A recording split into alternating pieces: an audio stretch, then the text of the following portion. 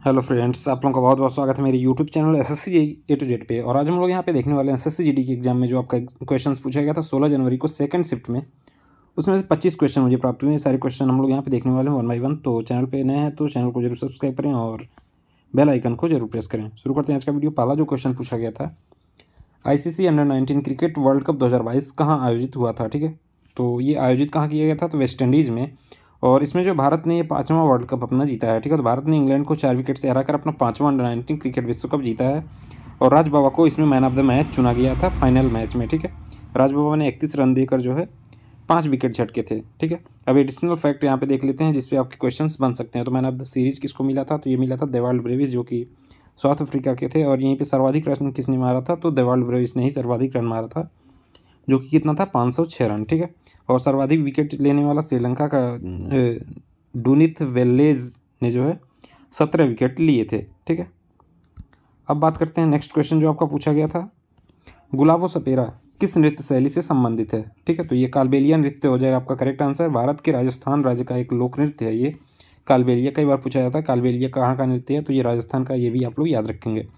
भारत सरकार ने उन्हें 2016 में पद्मश्री से सम्मानित किया था एंड भारत गौरव पुरस्कार उन्हें 2021 में मिला था। वर्ष 2020 में यूनेस्को की मानवता अमूर्त सांस्कृतिक विरासत की प्रतिनिधि सूची में जो है ये शामिल हैं, ठीक है? नेक्स्ट क्वेश्चन कुछ एडिशनल फैक्ट यहाँ पे देख लेते हैं। तीजन बाई किससे संबंधित है, ये भी क्वेश्चन पूछा जाता है। तो ये पंडवानी नृत्य से संबंधित है और ये जो है कहाँ का लोक नृत्य है? तो छत्तीसगढ़ का एक लोक नृत्य है पंडवानी, ठीक है? तीजन बाई से संबंधित है। नेक्स्ट क्वेश्चन पूछा गया था, योजना आयोग का नाम बदलकर क्या रखा गया है? तो तेरह अगस्त 2014 को योजना आयोग खत्म कर दिया गया और इसके जगह पर नीति आयोग का गठन किया गया था। क्वेश्चन क्या बनता है कि कब इसका गठन हुआ था नीति आयोग का? तो एक जनवरी 2015 को। और योजना आयोग कब खत्म हुआ तो तेरह अगस्त 2014 को ये जो है ख़त्म कर दिया गया था प्रभाव से, ठीक है? अब नीति आयोग का फुल फॉर्म आपसे पूछा जाएगा एग्ज़ाम में तो ये हो जाएगा national institution for transforming India ठीक है? अध्यक्ष कौन होता है? तो प्रधानमंत्री हमेशा अध्यक्ष होंगे नीति आयोग के, और कौन, वर्तमान कौन है? तो नरेंद्र मोदी, ठीक है? यहीं पर उपाध्यक्ष की बात करें तो उपाध्यक्ष नीति आयोग की कौन है? डॉक्टर सुमन बेरी, और नीति आयोग के सीईओ कौन है? तो ये परमेश्वरन अय्यर हैं, ठीक है? तो ये सारे क्वेश्चन आपके बन सकते हैं। कई बार एग्ज़ाम में पूछा जा चुका है, ठीक है? नेक्स्ट फूलदेई त्यौहार किस राज्य का फ़सल उत्सव है, ठीक है? फूलदेई त्यौहार आपसे पूछा गया तो ये है फूलदेई महोत्सव, जो है उत्तराखंड का फ़सल उत्सव है। ये किस महीने में मनाया जाता है? तो चैत्र के महीने में चैत्र महीने के पहले दिन जो है ये मनाया जाता है, ठीक है? इंपॉर्टेंट क्वेश्चन है। नेक्स्ट जो क्वेश्चन पूछा गया था, किसके कारण हड्डियाँ कमज़ोर होती हैं या फिर दांतों का क्षय होता है तो ये कैल्शियम की कमी से होता है और एक रोग होता है जिसको कहते हैं ऑस्टियोपोरोसिस कई बार पूछा जाता है कि ऑस्टियोपोरोसिस किससे संबंधित है, हड्डी से हड्डी से संबंधित है?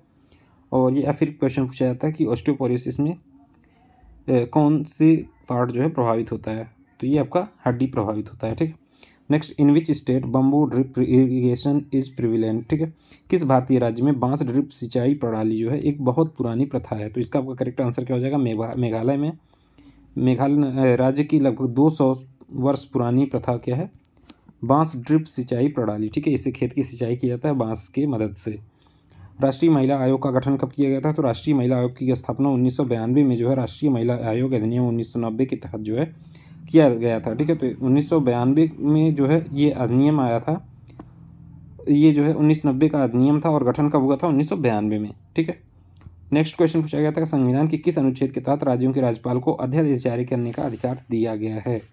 तो ये अनुच्छेद है आपका 213 213 के तहत कोई भी राज्यपाल जो है राज्यों के अध्यादेश जारी कर सकते हैं और उनको इसमें अधिकार दिया गया है, ठीक है? नेक्स्ट क्वेश्चन पूछा गया, किस संस्था की स्थापना जो है अठारह सौ सड़सठ में हुई थी, ठीक है?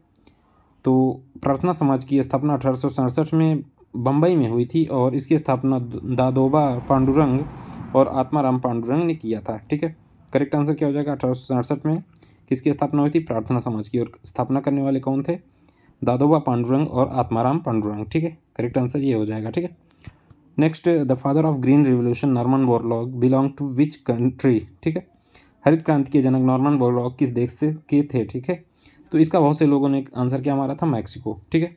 तो इसका आपका करेक्ट आंसर क्या हो जाएगा? अमेरिका। मैक्सिको इस वजह से लोग मारे थे कि हरित क्रांति का जो स्टार्ट हुआ था, वो मैक्सिको से ही स्टार्ट हुआ था, लेकिन ये जो नॉर्मन बोरलॉग थे, ये कहाँ के थे? अमेरिका थे अमेरिका के थे। और 1960 के में जो है ये स्टार्ट हुआ था, और नोबल पुरस्कार इनको कब मिला था? 1970 में, ठीक है? नॉर्मन बोरलॉग को शांति का नोबल पुरस्कार जो है 1970 में मिला था। भारत में जो है हरित क्रांति के जनक किसको माना जाता है? एम एस स्वामीनाथन को। और ये कब स्टार्ट हुआ था भारत में हरित क्रांति? उन्नीस सौ पैंसठ से उन्नीस सौ अड़सठ के बीच में, ठीक है? ये सारे एडिशनल फैक्ट आपको याद कर रखने चाहिए और ये एग्ज़ाम में पूछे जाते हैं। नेक्स्ट शोषण के विरुद्ध अधिकार राइट अगेंस्ट एक्सप्लोइटेशन कौन से आर्टिकल में है? ठीक है? शोषण के विरुद्ध अधिकार का अनुच्छेद जो होता है, तेईस और चौबीस होता है भारत के मौलिक अधिकार में, ठीक है? टोटल कितने मौलिक अधिकार हैं वर्तमान में? वर्तमान में टोटल छः हैं, लेकिन जब मूल संविधान में कितने थे? सात थे।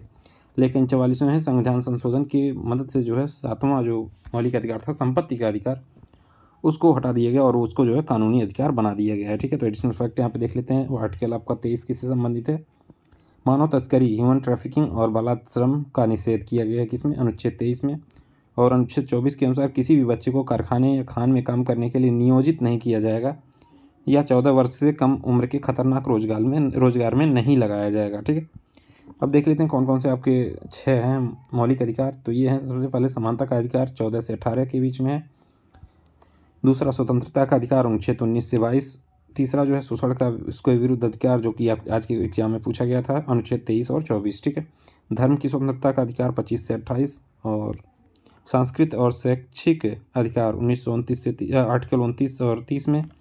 संवैधानिक उपचार का अधिकार, जिसको संविधान की आत्मा कहा गया था, भीमराव अंबेडकर के द्वारा ये भी क्वेश्चन पूछा था कि किस अनुच्छेद को जो है, भीमराव अंबेडकर ने जो संविधान की आत्मा कहा है। तो यह है संवैधानिक उपचार का अधिकार, अनुच्छेद बत्तीस, ठीक है? नेक्स्ट पाटलिपुत्र से पहले मगध की राजधानी कौन थी? तो ये थी राजगृह, और ये भी क्वेश्चन बनता है कि राजगृह को जो है, राजधानी, राजगृह राजधानी को राजगृह से पाटलिपुत्र किसने स्थानांतरित किया था? तो ये सम्राट जो अजात शत्रु के उत्तराधिकारी उदयन ने अपनी राजधानी को राजगृह से पाटलिपुत्र स्थानांतरित किया था और बाद में चंद्रगुप्त मौर्य ने यहाँ साम्राज्य स्थापित कर अपनी राजधानी बनाई थी। ठीक है? नेक्स्ट अमृत योजना कब शुरू हुई थी? अमृत टू पॉइंट ज़ीरो के बारे में पूछा गया था तो ये पच्चीस जून 2015 को भारत के प्रधानमंत्री श्री नरेंद्र मोदी ने इसकी शुरुआत की थी। ठीक है? इस मिशन का उद्देश्य 500 शहरों कस्बों में बुनियादी शहरी अवसंरचना में सुधार करना है। ठीक है? इंपॉर्टेंट क्वेश्चन है, कई बार एग्ज़ाम में पूछा जा चुका है। हुमायूं नामा किसने लिखा? ये भी क्वेश्चन पूछा गया था तो हुमायूं नामा गुलबदन बेगम द्वारा लिखा गया था। और वह जो है, मुग़ल शासक बाबर की सबसे छोटी बेटी थी, ठीक है? गुलबदन बेगम जो है, हुमायूं की जो है बाबर की सबसे छोटी बेटी थी, और हुमायूं नामा इसी ने लिखा था, ठीक है? नेक्स्ट क्वेश्चन केंद्रीय जल शक्ति मंत्री कौन है? तो ये हैं गजेंद्र सिंह शेखावत। गजेंद्र सिंह शेखावत को केंद्रीय जल शक्ति मंत्री जो है, बनाया गया है। नेक्स्ट क्वेश्चन नदी का पर्यावाची। तो ये हो जाएगा आपका पैश्वनी तरनी स्रोतस्विनी सरिता व तटिनी, ठीक है? नेक्स्ट क्वेश्चन पूछा गया था, निर्माण का विलोम शब्द क्या होता है? निर्माण का विलोम शब्द आपका हो जाता है ध्वंस और नाश ठीक है? नेक्स्ट क्वेश्चन पूछा गया था, लंगोटी में फॉक खेलना का अर्थ क्या होता है? तो ये होता है आपका दरिद्रा में, दरिद्रता में आनंद मनाना, ठीक है? कोई कोई कैंडिडेट कह रहे हैं कि ये क्वेश्चन पूछा गया था कि दिल्ली ये चिराग के नाम से किसको जाना जाता है? ठीक है तो इसका अगर ये क्वेश्चन पूछा गया तो इसका करेक्ट आंसर हो जाएगा नसरुद्दीन महमूद। नसरुद्दीन महमूद को जो है दिल्ली ये चिराग के नाम से भी जाना जाता है, ठीक है? यहीं पे एक और क्वेश्चन पूछा गया था कि सेंट्रल हिंदू कॉलेज की स्थापना किसने किया था? तो ये किया गया था सेंट्रल हिंदू यूनिवर्सिटी या फिर सेंट्रल सेंट्रल हिंदू कॉलेज की स्थापना की गई थी। यानी बेसेंट के द्वारा कहाँ पे? बनारस में, ठीक है? नेक्स्ट क्वेश्चन गागर में सागर भरना मुहावरे का अर्थ पूछा गया था तो ये हो जाएगा थोड़े में बहुत कहना किसका अर्थ है? गागर में सागर भरना का, ठीक है? तो ये सारे क्वेश्चन आज के एग्ज़ाम में आपसे पूछे गए थे, और ऐसे इंपॉर्टेंट लाइव एनालिसिस के लिए यूट्यूब चैनल को ज़रूर सब्सक्राइब करें और एस एग्ज़ाम से रिलेटेड हर अपडेट के लिए चैनल पर बने रहें। Thank you